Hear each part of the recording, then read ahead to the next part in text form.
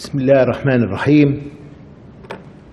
السادة الضيوف الأعزاء من الأمة العربية والدول الإفريقية الزملاء الأعزاء السيدات والسادة. الحقيقة بعد العرض اللي قدمه معالي الوزير والكلمات الحقيقة إحنا جميعا أمام تحدي كبير جدا.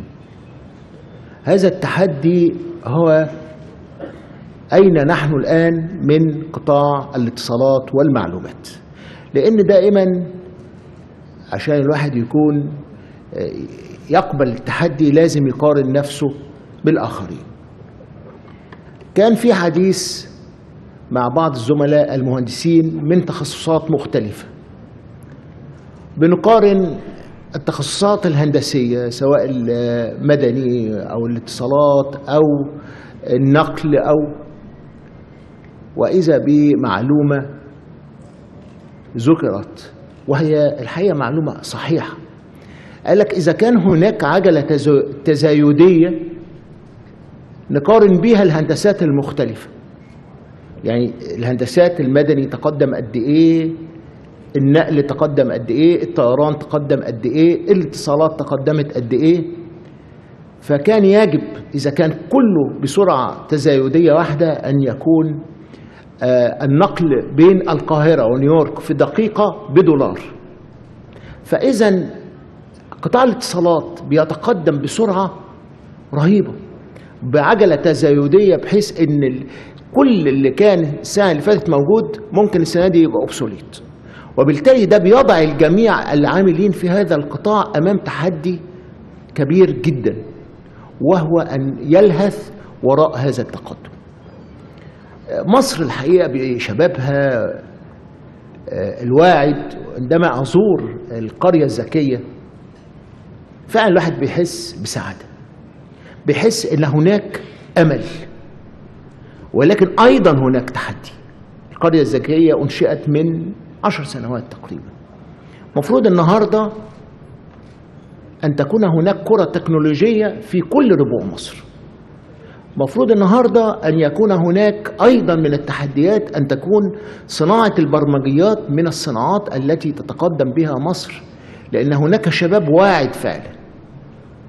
مفروض النهاردة إذا كنا بنتكلم على إصلاح إداري حقيقي ومقاومة للفساد حقيقية أن يقود هذا القطاع بمراكز المعلومات. هذا الإصلاح الإداري.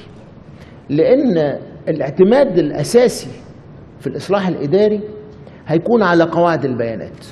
قواعد بيانات دقيقة قواعد بيانات سريعة تتابع تنقل الواقع وفي نفس الوقت هذه القواعد البيانات تتطلب أيضا بنية أساسية قوية في مجال المعلومات. نقارن النهارده التحديات اللي أمامنا سرعة الإنترنت آه الخدمات الموجودة زي ما قلت في آه النهارده يعني آه التليفون المحمول دي كلها أمامنا تحديات. أيضا تكلمنا كثيرا عن مراكز المعلومات في القرى هل هناك واقع يؤكد أن هناك فعلا مراكز معلومات فاعلة في القرى عشان أقدر أعمل حكومة إلكترونية؟ هذا هو أيضا تحدي أمام العاملين في هذا القطاع. ويمكن أنا طلبت من السيد الوزير التنسيق مع وزير التنمية المحلية لعقد مؤتمر كبير جدا لمراكز معلومات القرى هي البنية الأساسية فعلا اللي هتقدر تخلينا ننطلق إلى حكومة إلكترونية حقيقية. أيضا إنها توفر عدد كبير جدا من الوظائف وفرص العمل.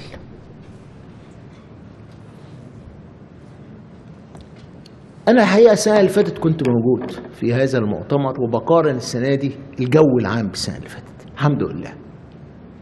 مصر الحمد لله قامت واقفة بقوة بتكمل. منظومة اقتصادية وإصلاح اقتصادي. أيضا شارك فيه قطاع المعلومات لأن قبل ما كنا نشتغل في المنظومة الاقتصادية أو تحريك أسعار الوقود كان علينا إن إحنا فعلا نشتغل بقوة على شبكة ضمان اجتماعي ونأدي المثل في منظومة الخبز.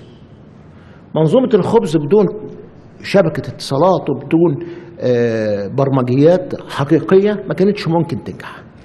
فاذا قطاع الاتصالات سيكون في المقدمة لإنجاح المشروعات الكبيرة ال- وخاصة على مشروع قناة السويس وتنمية منطقة قناة السويس. التحديات كثير التحديات كثيرة. الواقع أيضا يجب فعلا إن إحنا نواجهه بصراحة وإن إحنا فعلا نسرع بالشبكه الرابعه الرخصة الموحدة. تصبح حقيقة. ده تحدي أمامنا الرخصة الموحدة. هي حقيقة تكلمنا فيها كثيرا وعلينا النهارده إن إحنا فعلا نحقق الرخصة الموحدة.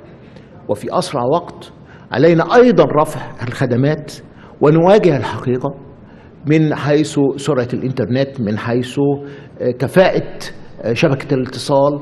هي هذا هو ال- التحديات.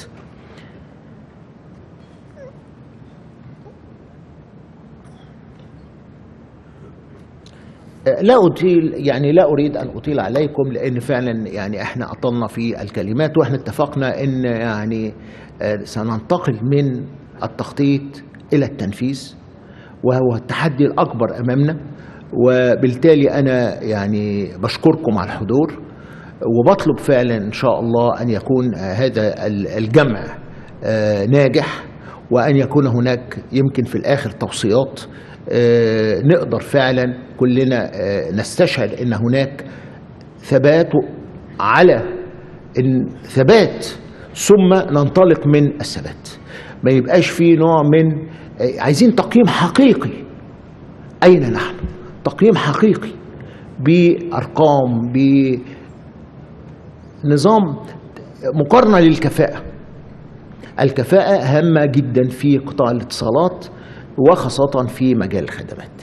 أنا بشكر الجميع وبنتهز هذه الفرصة أن أحيي كل شبابنا بحق العاملين في قطاع الاتصالات. هم فخر فخر كبير جدا لما رحت وزرت ودخلت مع المهندس عاطف سواء المعهد أو الشركات أو شركات الاتصالات. الحقيقة أنا بشكرهم وبقول لهم هتكملوا بإذن الله. مصر محتاجة لشبابها وأنتم إن شاء الله في آه، الطلائع وفي المقدمة دائما بإذن الله. والسلام عليكم ورحمة الله.